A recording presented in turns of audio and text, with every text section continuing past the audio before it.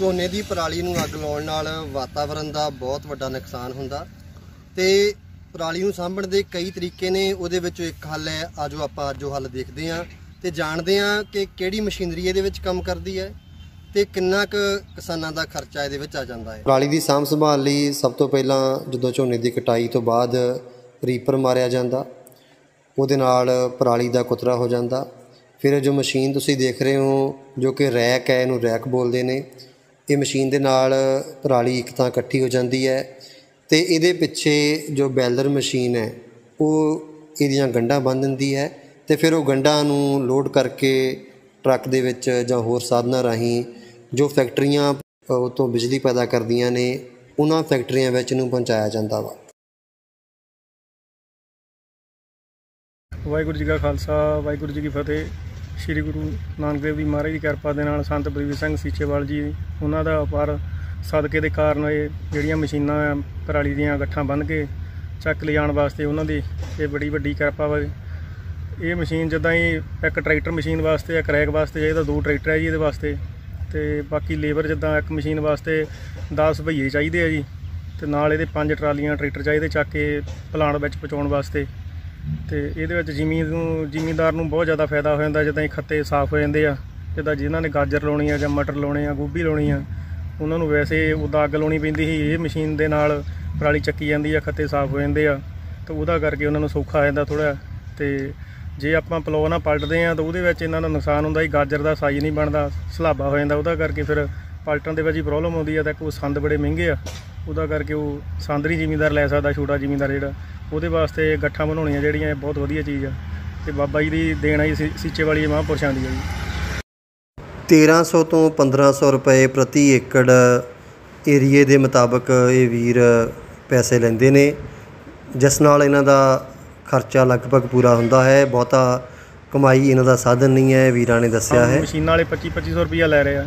ਪਰ ਮਹਾਂਪੁਰਸ਼ਾਂ ਦਾ ਇਹ ਕਹਿਣਾ ਵੀ ਜ਼ਿਮੀਂਦਾਰ ਨੂੰ ਆਪਾਂ ਤੰਗ ਨਹੀਂ ਕਰਨਾਗਾ ਜਿੰਨਾ ਕਿ ਤੁਹਾਡਾ ਖਰਚਾ ਆਉਂਦਾ, ਤੁਸੀਂ ਆਪਣਾ ਖਰਚੇ ਦੇ ਲੈਵਲ ਦੇ ਹਿਸਾਬ ਨਾਲ ਪੈਸੇ ਲਵੋ ਕਿ ਤੁਸੀਂ ਬੈਨੀਫਿਟ ਨਹੀਂ ਕਰਨਾ ਵੀ ਆਪਣਾ। ਕਿ ਤੁਸੀਂ ਸਿਰਫ ਜ਼ਿਮੀਂਦਾਰ ਨੂੰ ਸੁਖਾਲਾ ਕਰਨਾ ਵੀ ਆਪਣੇ ਥੋੜੇ ਪੈਸੇ ਦੇ ਕੇ ਆਪਣੇ ਖਾਤੇ ਸਾਫ਼ ਕਰ ਸਕਦਾ ਹੋਵੇ। ਇਹਦੀ ਜੀ ਬਿਜਲੀ ਬਣਦੀ ਹੈ ਜੀ। ਇੱਕ ਤਾਂ ਤਲਵੰਡੀ ਭਾਈ ਕੇ ਆ, ਸੁਖਵੀਰ ਐਗਰੋ ਪਲਾਂਟ ਆ ਜੀ। ਇੱਕ ਵੀਰ ਪਿੰਡ ਆ ਜੀ ਨਕੋਦਰ ਦੇ ਲਾਗੇ। ਸਰਕਾਰ ਨੂੰ ਇਹਦੇ ਵਿੱਚ ਕੀ ਮਦਦ ਕਰਨੀ ਚਾਹੀਦੀ ਹੈ ਕਿਸਾਨਾਂ ਲਈ? ਕਿਵੇਂ ਹੋ ਸਕਦਾ? ਕਿਸਾਨਾਂ ਦੀ ਮਦਦ ਜੀ ਪਹਿਲੇ ਨੰਬਰ ਤੇ ਤਾਂ ਇਹ ਚਾਹੀਦੀ ਹੈ ਵੀ ਕਿਸਾਨਾਂ ਨੂੰ ਸਰਕਾਰ ਨੂੰ ਘੱਟੋ ਘੱਟ 1500 ਤੋਂ ਲੈ ਕੇ 2500 ਰੁਪਈਆ ਹਰ ਏਕੜ ਦਾ ਸਰਕਾਰ ਨੂੰ ਜ਼ਿਮੀਂਦਾਰ ਨੂੰ ਖਰਚਾ ਦੇਣਾ ਚਾਹੀਦਾ। ਤੇ ਉਹ ਖਰਚਾ ਦੇਣਗੇ ਜਿਹੜਾ ਉਹ ਗਾਂ ਸਾਨੂੰ ਪਰਾਲੀ ਚੱਕਣ ਵਾਲਿਆਂ ਨੂੰ ਦੇਣਗੇ ਤੇ ਜ਼ਿਮੀਂਦਾਰ ਦੇ ਉੱਪਰ ਕੋਈ ਪ੍ਰੈਸ਼ਰ ਨਹੀਂ ਆਊਗਾ। ਤੇ ਜ਼ਿਮੀਂਦਾਰ ਵੀ ਬੜਾ ਖੁਸ਼ ਹੋ ਕੇ ਆਪਣੇ ਕੋਲੋਂ ਗੱਠਾਂ ਬਣਾਊਗਾ। ਸੇਵਾ ਸੁਸਾਇਟੀ ਵੱਲੋਂ ਜੋ 2017 ਤੋਂ ਕਾਰਜ ਚੱਲ ਰਿਹਾ ਹੈ এনवायरमेंट ਨੂੰ ਸਾਫ਼ ਸੁਥਰਾ ਕਰਨ ਵਾਸਤੇ, ਪ੍ਰਾਣੀ ਦੀ ਸਾਂਭ ਸੰਭਾਲ ਵਾਸਤੇ ਸਾਰੇ ਜ਼ਿਮੀਂਦਾਰਾਂ ਨੂੰ, ਕਿਸਾਨਾਂ ਨੂੰ ਮੇਰੀ ਬੇਨਤੀ ਹੱਥ ਜੋੜ ਕੇ ਕਿ ਉਹ ਆਪਾਂ ਪਰਾਲੀ ਨੂੰ ਅੱਗ ਨਾ ਲਾਈਏ।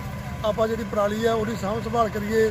ਸਰਕਾਰਾਂ ਨੂੰ ਵੀ ਬੇਨਤੀ ਹੈ ਕਿ ਇਹ ਜਿਹੀਆਂ ਸੰਸਥਾਵਾਂ ਦਾ ਆਪਾਂ ਵੱਧ ਤੋਂ ਵੱਧ ਯੋਗਦਾਨ ਦਈਏ, ਸਹਿਯੋਗ ਕਰੀਏ, ਤਾਂ ਕਿ ਉਹ ਇਸ ਤੋਂ ਹੋਰ ਵੱਧ ਇਹ ਕੰਮਕਾਰ ਕਰ ਸਕਣ। ਕਿਸਾਨ ਵੀਰਾਂ ਨੂੰ ਮੇਰੀ ਹੱਥ ਜੋੜ ਕੇ ਬੇਨਤੀ ਹੈ ਕਿ ਆਪਾਂ ਪਵਨ ਗੁਰੂ ਪਾਣੀ ਪਿਤਾ ਮਾਤਾ ਧਰਤ ਮਾਤ ਦੇ ਸੰਦੇਸ਼ ਮੁਤਾਬਕ ਆਪਾਂ ਇਸ ਹਵਾ ਨੂੰ ਪ੍ਰਦੂਸ਼ਣ ਮੁਕਤ ਕਰੀਏ। ਵਾਹਿਗੁਰੂ ਜੀ ਕਾ ਖਾਲਸਾ, ਵਾਹਿਗੁਰੂ ਜੀ ਕੀ ਫਤਿਹ। ਵਾਤਾਵਰਣ ਸੇਵਾ ਸੁਸਾਇਟੀ ਨੇ ਪਿਛਲੇ ਸੀਜ਼ਨ ਦੇ ਵਿੱਚ ਲਗਭਗ 1400 ਏਕੜ ਖੇਤ ਦੀ ਪਰਾਲੀ ਦੀ ਸੰਭਾਲ ਕੀਤੀ ਸੀ। ਇਸ ਕੰਮ ਤੇ ਖਰਚਾ ਵੀ ਬਹੁਤ ਆਉਂਦਾ। ਵੀਰ ਦੱਸਦੇ ਸੀ ਕਿ ਲਗਭਗ ਸਵਾ ਛੇ ਲੱਖ ਦਾ ਧਾਗਾ ਜੋ ਮਸ਼ੀਨ ਦੀ ਗੰਢਾਂ ਬੰਨਣ ਵਾਸਤੇ ਵਰਤਿਆ ਜਾਂਦਾ, ਜੋ ਮਸ਼ੀਨ ਜਿਸ ਧਾਗੇ ਨਾਲ ਗੰਢਾਂ ਬੰਨ੍ਹਦੀ ਹੈ ਉਹਦੇ ਤੇ ਹੀ ਇੰਨੇ ਪੈਸੇ ਲੱਗ ਗਿਆ ਸੀ।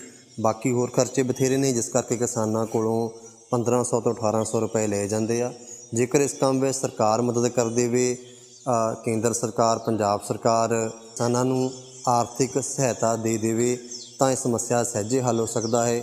ਵੱਧ ਤੋਂ ਵੱਧ ਮਸ਼ੀਨਰੀ ਦੇਣ ਦੀ ਲੋੜ ਹੈ ਤੇ ਨਾਲ ਦੀ ਨਾਲ ਜੇ ਪਰ ਏਕੜ ਕੁਝ ਆਰਥਿਕ ਮਦਦ ਮਿਲ ਜਾਵੇ, ਤਾਂ ਉਹਦੇ ਨਾਲ ਇਹ ਵੱਡੀ ਸਮੱਸਿਆ ਦਾ ਹੱਲ ਹੋ ਸਕਦਾ। ਬਾਕੀ ਕਿਸਾਨ ਵੀਰਾਂ ਨੂੰ ਵੀ ਅਪੀਲ ਹੈ, ਕਿਉਂਕਿ ਹਵਾ ਦੇ ਵਿੱਚ ਸਾਰਿਆਂ ਨੇ ਸਾਹ ਲੈਣਾ।